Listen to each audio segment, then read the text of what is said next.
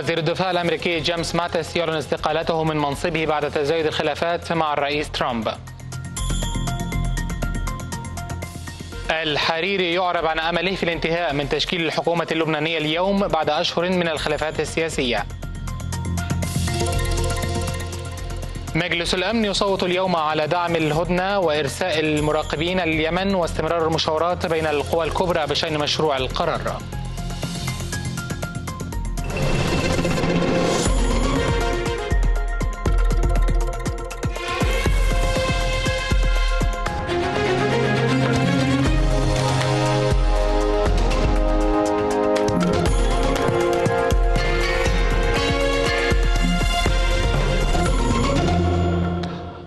الرابعة مساء في القاهرة. الثانية بتوقيت جرينتش أهلا بكم في بانوراما إخبارية شاملة على شاشة النيل والبداية من القاهرة أيضا. أشاد الرئيس عبد الفتاح السيسي خلال تفقده عدد من المشروعات التنموية بمنطقة هضبة الجلالة بالجهود المبذولة لإنجاز المشروعات التنموية بتلك المنطقة والالتزام بالجدول الزمني. وقد شملت جولة الرئيس في منطقة هضبة الجلالة مدينة الرخام والجرانيت والتي تضم ثمانية مصانع رخام ومصنع جرانيت بطاقة تقدر بنحو مليون متر مربع سنويا. وقد قام الرئيس كذلك بالمرور على جامعة الجلالة والتي تشمل بخلاف إدارة الجامعة 14 كلية وشملت جولة الرئيس كذلك الحي السكني والمنتجعات السياحية.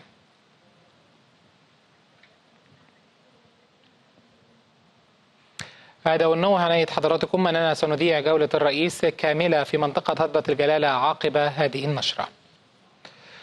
تابع رئيس مجلس الوزراء وزير الإسكان والمرافق والمجتمعات العمرانية الجديدة دكتور مصطفى مدبولي الموقف التنفيذي خلال الفترة الماضية في مجال منظومة النظافة وجمع القمامة ورصف الشوارع وإدارتها والتعامل مع ظاهرة البناء العشوائي ومتابعة تشغيل المنشآت الخدمية. وقد تلقى مدبولي تقريرا من اللواء محمود شعراوي وزير التنمية المحلية تناول جهود المحافظات في هذا الصدد. وبين أنه تم رفع نحو 200 مليون و760 ألف طن من التراكمات القديمة من الشوارع إلى جانب رفع أكثر من 3 ملايين طن من المخلفات الحديثة. أعلنت وزارة الداخلية استنفارا أمنيا بكافة أجهزتها بمناسبة احتفالات عيد الميلاد المجيد ورأس السنة الميلادية وتكثيف خدمات التأمين بكافة المنشآت الحيوية والمهمة لتوفير الأجواء المناسبة أثناء الاحتفالات. جاء ذلك تنفيذا لاستراتيجية وزارة الداخلية باتخاذ الإجراءات والتدابير الأمنية اللازمة استعدادا لاستقبال احتفال عيد الميلاد المجيد ورأس السنة الميلادية.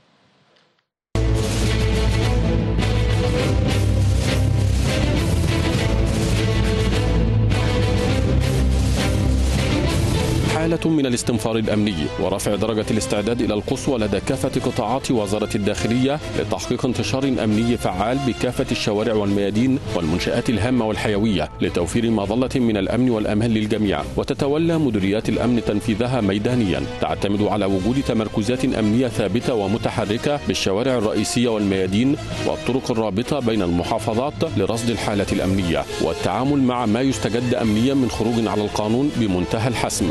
وفقا للتعليمات المشددة في هذا الشأن مع الحفاظ على أمن القوات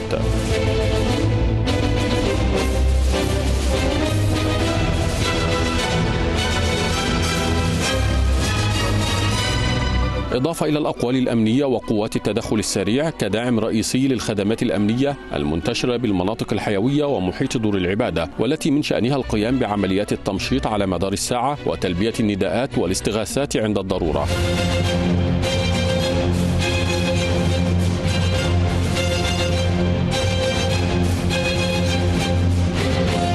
القوات المكلفة بعمليات التأمين والمنتشرة بالشوارع والميادين بكافة ربوع الجمهورية مزودة بالعدة والعتاد والتي تتيح لها مواجهة المستجدات الأمنية فورا. بينما تقوم إدارات المرور بكافة مديريات الأمن والإدارة العامة للمرور بتكثيف الدوريات على الطرق الرئيسية وشن حملات مرورية وعمل تحويلات مرورية بديلة لتلك المغلقة كحرم آمن للكنائس بما يسهم في تحقيق انسيابية مرورية من خلال التعامل السريع مع أي تكدسات تشهدها الشوارع.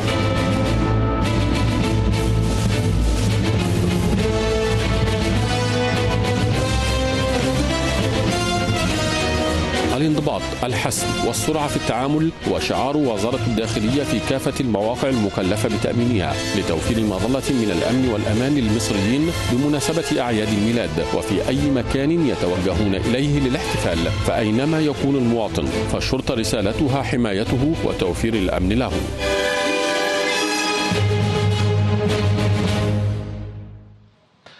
أعلن وزير الدفاع الأمريكي جيمس ماتيس استقالته من منصبه بعد يوم واحد فقط من إعلان الرئيس ترامب سحب قواته بالكامل من سوريا.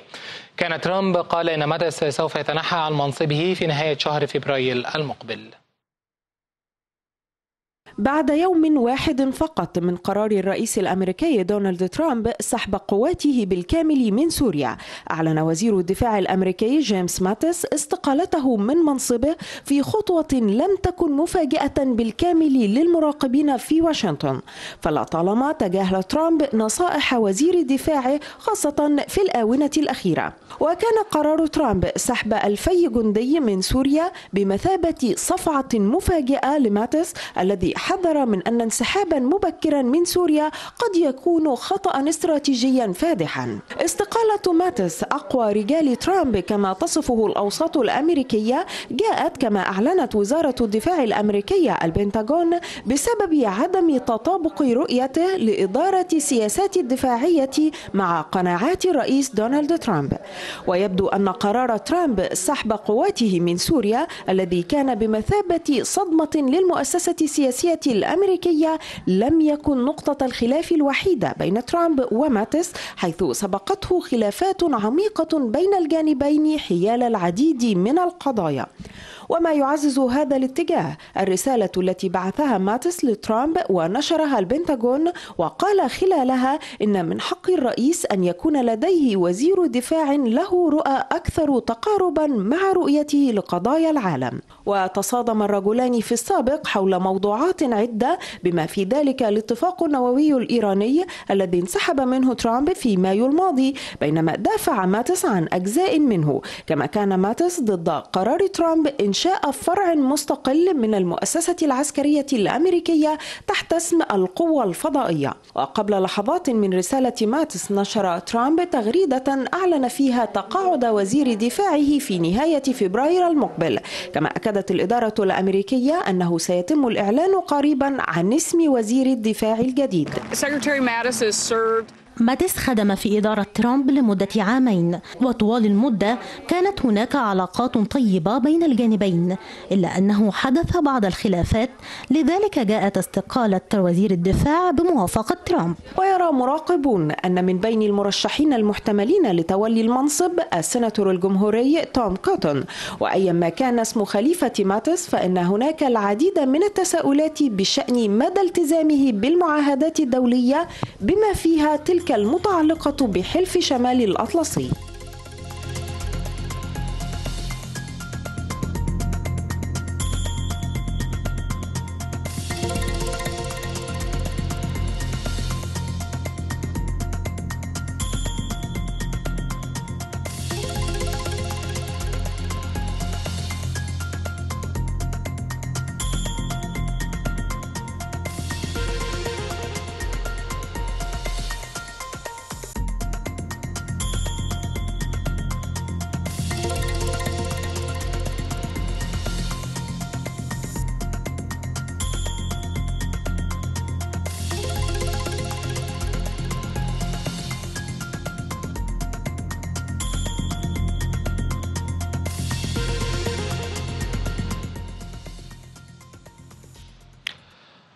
ما يسمى بمجلس سوريا الديمقراطية من خطورة سحب القوات الأمريكية كاملة وبشكل سريع واعتبرت من ذلك أن يعقد الأزمة السورية بشكل أكبر. وشدد المجلس في بيان له على الانسحاب مرتقب من جانب القوات الأمريكية.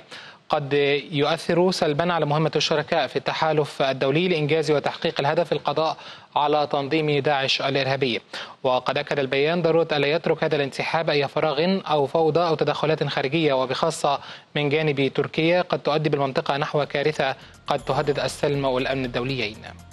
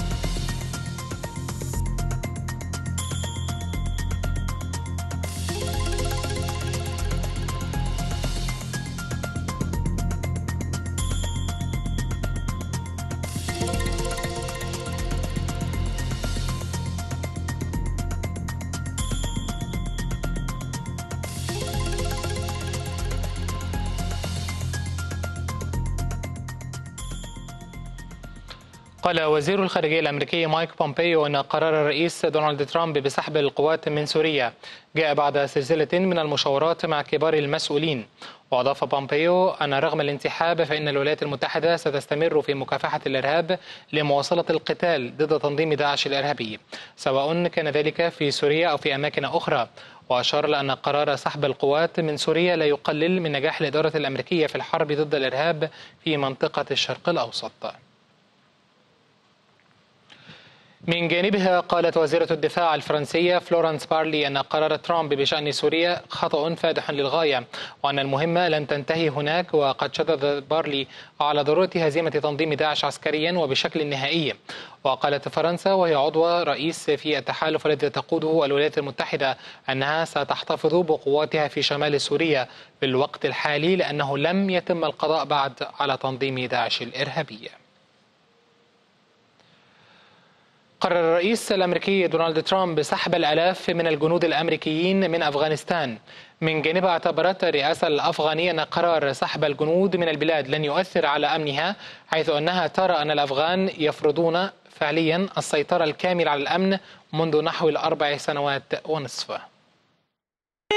بعد يوم على اتخاذه قرارا بسحب القوات الأمريكية من سوريا قرر الرئيس الأمريكي دونالد ترامب سحب عدد كبير من الجنود الأمريكيين من أفغانستان يعملون إما مع مهمة قوات حلف شمال الأطلسي لدعم القوات الأفغانية أو ينفذون عمليات خاصة لمكافحة ما سمي بالإرهاب. من جانبها اعتبرت الرئاسة الأفغانية أن قرار سحب الجنود الأمريكيين من البلاد لن يؤثر على أمنها حيث أنه منذ أربع سنوات ونصف يمارس الأفغان فعليا السيطرة الكاملة على الأمن. وقرر الرئيس الأمريكي دونالد ترامب سحب عدد كبير من الجنود الأمريكيين من أفغانستان غداة إعلانه رغبته سحب كل القوات الأمريكية من سوريا.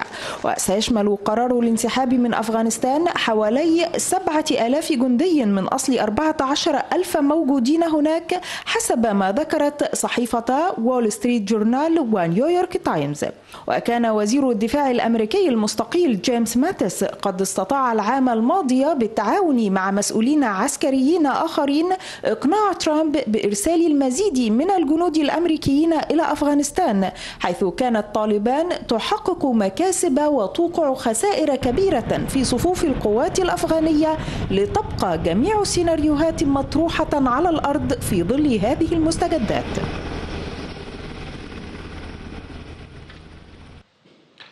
ومعنا لمزيد من المتابعة دكتور أحمد سيد أحمد خبير العلاقات الدولية بالأهرام والمتخصص في الشأن الأمريكي. برحب بك دكتور أحمد بداية. أهلا بك أهلا وسهلا. دكتور أحمد يعني نعتبر أن هناك طبعا سلسلة من الاستقالات ربما تباعا واحدا تلو الآخر وكان آخرها طبعا القرار الخاص باستقالة وزير الدفاع جون ماتس. يعني هذا الحديث ربما يفرض مفردات جديدة على السياسة الأمريكية ومنها بالطبع سحب القوات من سوريا وكذلك تقليل عدد كبير من القوات في أفغانستان. يعني بالطبع استقالة جيم ماتيس هي ليست الأولى ولن تكون الأخيرة. هذه الإدارة هي أكبر إدارة في تاريخ أمريكا شهدت أكبر عدد من الاستقالات. المنطق البسيط الذي يتبعه ترامب هو أنه من معه في آرائه في توجهاته في قضايا السياسة الخارجية فعليه أن يسير معه ومن يعارض آرائه أو لا يتوافق مع آرائه فعليه أن يستقيل أو يقيل. وهذا منطق اتبعه ترامب تقريبا مع كل المسؤولين وزراء الخارجية وغيرهم من مستشار الأمن القومي. أعتقد أن جيمس ماتيس كشف عن فجوة كبيرة ما بين الرئيس ترامب كشخص يتخذ القرار ربما بمفرده وبين المؤسسة الأمريكية التي يعبر عنها ماتيس الممثلة في وزارة الدفاع ومجلس الأمن القومي الأمريكي والمؤسسات الأمريكية الأخرى حول الأبعاد الاستراتيجية لقرارات الرئيس ترامب فيما يتعلق بالسياسة الخارجية وخاصة فيما يتعلق بالقضايا العسكرية والانتشار. وآخرها كان قرار الانسحاب من القوات الأمريكية من سوريا ثم أفغانستان. وهو ما اعتبره ماتس حقيقة أنه يمثل انتكاسه للاستراتيجيه الأمريكية بشأن محاربة الإرهاب بشأن تدعيم النفوذ الأمريكي في موازنة نفوذ أطراف أخرى مثل روسيا والصين وغيرها من الأطراف. أيضا إيران في سوريا على سبيل المثال. وأعتقد أن ترامب حاول أن يوفي بوعده في انسحاب القوات لاعتبارات انتخابية لكنه باعتباره شخص خارج من سياق المؤسسات الأمريكية التقليدية لا ربما لا يدرك أبعاد هذه التحركات أو توقيت أو مغزى ودلالات هذا القرارات المفاجئة وتأثيرها على الأمن القومي الأمريكي، تأثيرها على دور أمريكا في المنطقة، فيما توجده أيضا من فراغات سواء تتعلق في أفغانستان أو في سوريا يمكن أن تملاه أطراف أخرى خاصة إيران التي تنتشر ميليشياتها الإرهابية في سوريا وهو نفس تكرار سيناريو القرار المفاجئ لأوباما بالانسحاب من العراق في 2011 وأدى ذلك بعد سنوات قليلة إلى ابتلاع تنظيم داعش الارهابي ما يقرب من نصف العراق. دكتور أحمد نستطيع أن نقول أن ترامب يعني يدغدغ مشاعر الشارع الأمريكي بانسحاب القوات لأن هناك طبعا مشاكل اقتصادية كبيرة تواجه أمريكا في هذه الفترة على حساب السياسة الخارجية للولايات المتحدة هذا القرار ربما يكون مبني على صورة فردية وليس عمل مؤسسي كما اعتدنا من الولايات المتحدة الأمريكية. بالطبع هذا بيوضح نمط آلية ترامب في اتخاذ القرارات الانفرادية ونمط تعامله حتى مع المؤسسات الأمريكية، نحن نعرف أن هناك حتى فجوة كبيرة ما بين ترامب الشعبوي الذي يخاطب الشارع وبين المؤسسات الأمريكية والدولة الأمريكية التي تسمى حتى الدولة العميقة بمعنى المؤسسات التقليدية، ورأينا كيف أن هذه المؤسسات حجمت ترامب في العديد من الملفات خاصه فيما يتعلق بالتقارب مع روسيا فيما يتعلق أيضا بملفات أخرى. لكن ترامب بيظل يظهر أنه رجل الوعود أنه أوفى بوعوده أنه قرر الانسحاب واتخذ قراره بالفعل. هو الآن في وضع داخلي صعب يواجه ضغوط داخلية مع اعلان مع اعلان المحقق الخاص مولر عن وجود تقرير وعن وجود شبهات كبيرة واحتمالات كبيرة للتدخل الروسي في الانتخابات واحتمالات تورط أطراف من إدارة ترامب. هناك أيضا فوز الديمقراطيين بأغلبية مجلس النواب كل هذا ترامب يحاول أن ما يسمى القيادة من الخلف وأن يستبق هذه الأمور في التركيز على أن هذه هناك أعباء أمريكية أن أمريكا اولا شعار أمريكا من الداخل لكن في النهاية هو لا يدرك أبعاد السياسة الأمريكية التي تمثلها المؤسسات الأمريكية ولذلك قوبل هذا القرار بردود أفعال داخلية معارضة وسلبية وأيضا من الأطراف الأوروبية والأطراف الدوليه الأخرى. نعم.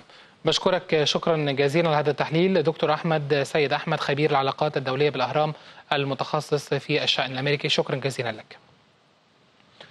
قتل شخص واصيب آخر في إطلاق نار وقع وسط العاصمة النمساوية فيينا وأشارت مصادر أمنية إلى أن مرتكب الحادث لاذ بالفرار ولم تعرف بعد دوافع ارتكاب هذا الهجوم. أعرب رئيس الوزراء اللبناني المكلف سعد الحريري عن أمله في الانتهاء من تشكيل الحكومة اليوم بعد سبعة أشهر من الخلافات السياسية بشأن تولي حقائب وزارية.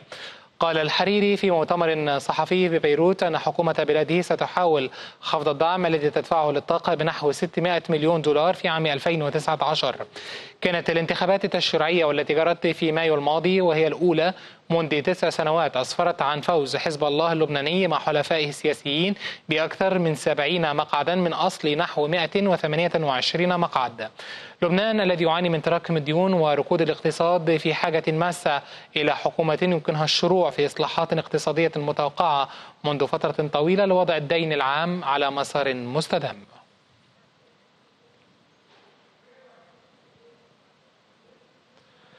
يصوت مجلس الأمن الدولي في وقت لاحق من اليوم على مشروع قرار لإرسال مراقبين لليمن ودعم نتائج مفاوضات السلام الأخيرة في السويد. وقد أفاد عدد من الدبلوماسيين أن مشروع مسودة القرار الذي أعدته بريطانيا خضعت لمفاوضات صعبة على مدى أسبوع. تخللها تهديد روسي باستخدام حق النقد في حال ذكر أي دعم من إيران للهجمات المتمردين الحوثيين وما أرادت الولايات المتحدة أن تفرضه.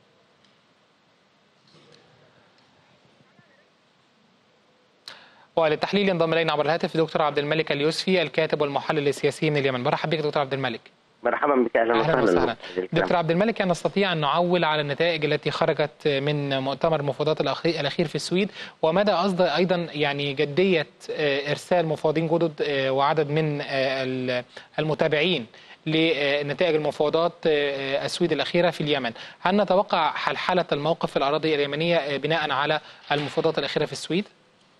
هي مفاوضات السويد عبارة عن خطوة لا يمكن أن يبنى أن يعني أن تعتبر حل للمشكلة اليمنية بل هو خطوة يمكن أن يبنى عليها لخطوات قادمة لإحلال السلام في اليمن والوصول إلى السلام المستدام. يعني هي خطوة من أجل بناء الثقة خطوه خطوة مهمة إنه أن ينسحب أن تنسحب الميليشيا الحوثية من ميناء الحديدة وميناء الصليف وميناء رأس عيسى ومن مدينة الحديدة بشكل سلمي.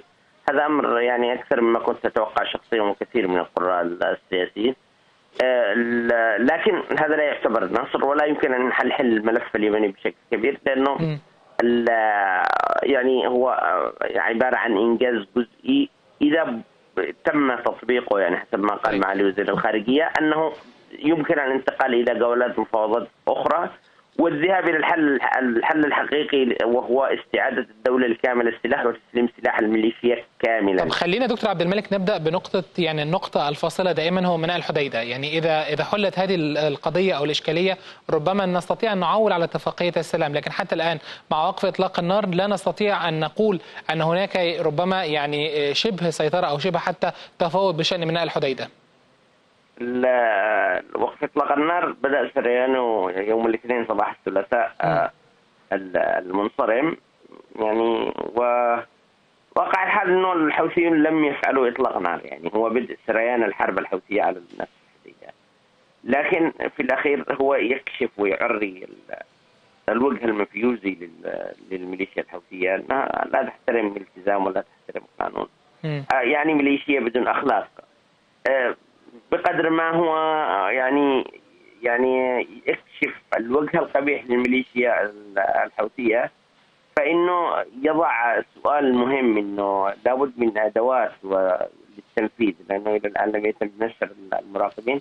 آه، هنالك في مسودات القرار حسب ما بلغني أنه سيكون نعم. هنالك 40 مراقب أممي مدني وليس قوات مسلحه امميه بالإضافة إلى أربع- سبع مراقب يعني مساعدين للجنرال باتريك. فإنه يظل الآن الإشراف وال... على التنفيذ تنفيذ الانسحاب المفروض يكون اليوم يكون قد أكملت ال- الميليشيا يعني- يعني... انسحابها من الموانئ. يعني نعم. نستطيع أن ننتظر دكتور عبد الملك حتى نعول على مدى استخدام روسيا على حق نقد الفيتو إذا ما ذكرت ايران آه، في آه، المحادثات الأخيرة في مجلس الأمن. ربما الساعات القادمة تسفر عن جديد آه، بإذن الله في الموقف اليمني. شكرا جزيلا دكتور عبد الملك اليوسفي الكاتب والمحلل السياسي اليمني. توافد الفلسطينيون اليوم للمشاركة في جمعة جديدة من مسيرة العودة وكسر الحصار تحت عنوان الوفاء لأبطال المقاومة في الضفة. قالت الهيئة الوطنية لمسيرات العودة إن المسيرات على حدود غزة تأتي تأكيدا على الالتفاف حول أبطال الضفة وهم يتصدون لجرائم الاحتلال.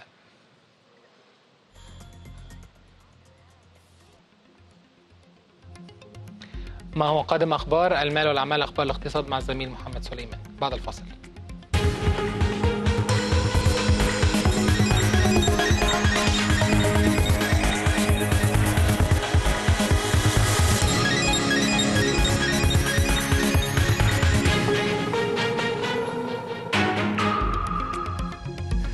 أشكرك عمرو؟ أهلا بحضراتكم. أخبارنا الاقتصادية في بانوراما الرابعة وأبرز ما فيها مجلس الوزراء يعلن ارتفاع ترتيب مصر في تقرير التنافسية العالمية للمركز الرابع والتسعين خلال عام 2018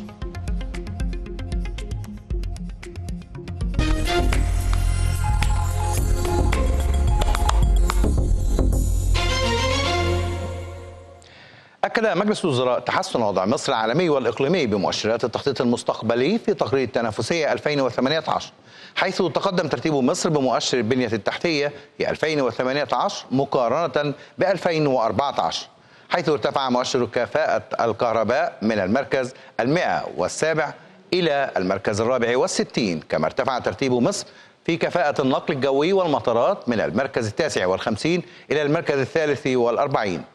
وزاد الترتيب في كفاءة النقل البحري والموانئ من المركز الثمانين إلى المركز التاسع والثلاثين. و في قطاع البنية التحتية ارتفع مؤشر مصر من المركز المئة والرابع عشر إلى المركز السادس والخمسين ومؤشر كفاءة الطرق من المركز المئة والثاني عشر إلى المركز الخامس والأربعين. وفي مؤشرات القطاع الخاص تحسن ترتيب تحسن ترتيب مصر من حيث توفير مناخ مستدام للاستثمار واستقرار الأسواق وظروف المنافسة في الأسواق والقطاعات.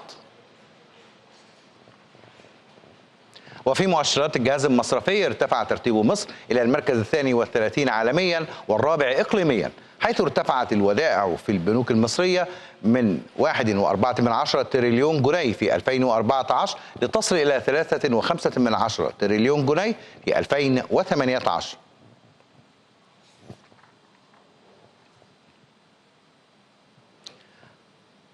وزاد كذلك ترتيب مصر في مؤشرات الأمن وسيادة القانون من حيث الاعتماد على الشرطة في إنفاذ القانون والقدرة على فض المنازعات بالطرق القانونية. حققت البورصة المصرية خلال تعاملات الأسبوع المنقدم مكاسب بلغت نحو 4.7 مليار جنيه. ليبلغ رأس مالها السوقي لأسهم الشركات المقيدة نحو 744.8 مليار جنيه.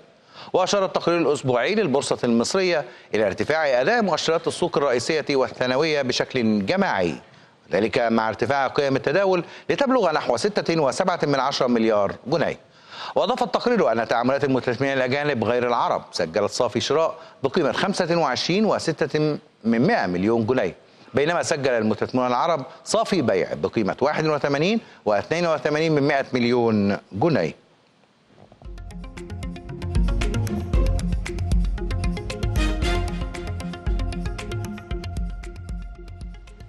انتهت أخبارنا الاقتصادية واستكمال بانوراما مع الزميل عمرو عبد المجيد بعد الفاصل.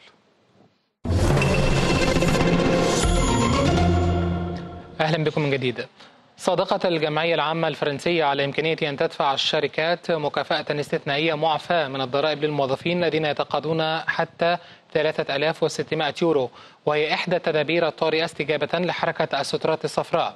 كان الرئيس الفرنسي من ماكرون قد قال أن معارضي زيادة الضريبة على الوقود على حق وذلك بعد أن تم توقيع نحو المليون ومائة وخمسين ألف شخص التماسا عبر الإنترنت احتجاجا عليها. وأضاف ماكرون أنه لا نية في زيادة أسعار الوقود أو حتى الكهرباء خلال فصل الشتاء. كما أعلن زيادة نحو 100 يورو لخمسة ملايين يتقاضون الأجور المنخفضة. وإلغاء ضريبة مقررة على رواتب المتقاعدين.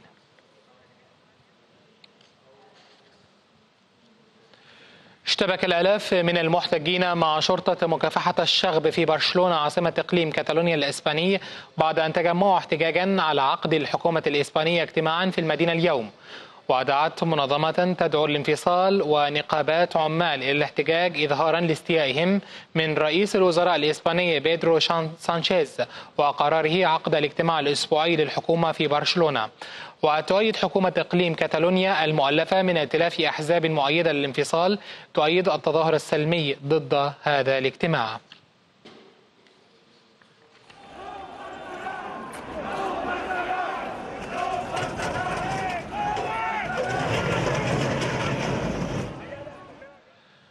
شب حريق في قارب على متنه نحو 29 مهاجرا قبالة الساحل الجزائري مما أدى إلى فقدان نحو 20 شخصا في حين انقضت باخرة ليبيرية التسعة الآخرين. وقالت وكالة الأنباء الجزائرية أن التسعة الذين تم إنقاذهم منهم خمسة أصيبوا بحروق كما تم نقل نقلهم إلى مستشفى في غرب العاصمة الجزائرية لافتة إلى أن كل الناجين هم من دولة الجزائر.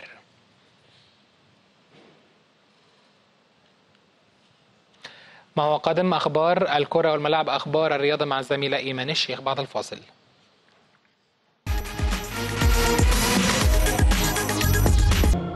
أهلا بكم من جديد. شهدت محافظة الفيوم ظاهرة فلكية نادرة وهي تعامد أشعة الشمس على قدس أقداس معبد قصر قارون. ويعود تاريخ معبد قارون إلى العصر البطلمي في القرن الثالث قبل الميلاد وقد تم اكتشاف تلك الظاهرة منذ ثماني سنوات. نتابع. احتفالية نظمتها محافظة الفيوم بالتعاون مع وزارة الآثار بمناسبة الاحتفال بتعامد الشمس على قدس الأقداس في معبد قارون والذي يتوافق مع انتهاء فصل الخريف وبداية فصل الشتاء في الحادي والعشرين من ديسمبر من كل عام. إحنا بنستغل الحدث ده في إن إحنا بنروج سياحية لمحافظة الفيوم. زي ما حضرتك شايف كده الناس كلها موجودة سواء مصريين أو أجانب؟ كله مبسوط الحمد لله تعالى. آه الفيوم بتمتلك مقومات سياحية عديدة آه منها ال- السياحة ال- الفرعونية آثار فرعونية آثار اليونانية السياحة الدينية السياحة الشاطئية. إحنا عندنا ال- الفيوم الحمد لله تعالى آه فيها أماكن كتيرة جدا تقريبا بنتكلم في 33 مكان آه سياحي.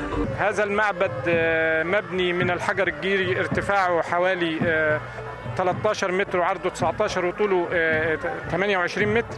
آه، لا علاقة له بقارون اللي ورد ذكره في القرآن لأن قارون القرآن قال عليه فخسفنا به وبداره الأرض. فما فيش علاقة تماما آه، بين هذا المعبد وقارون.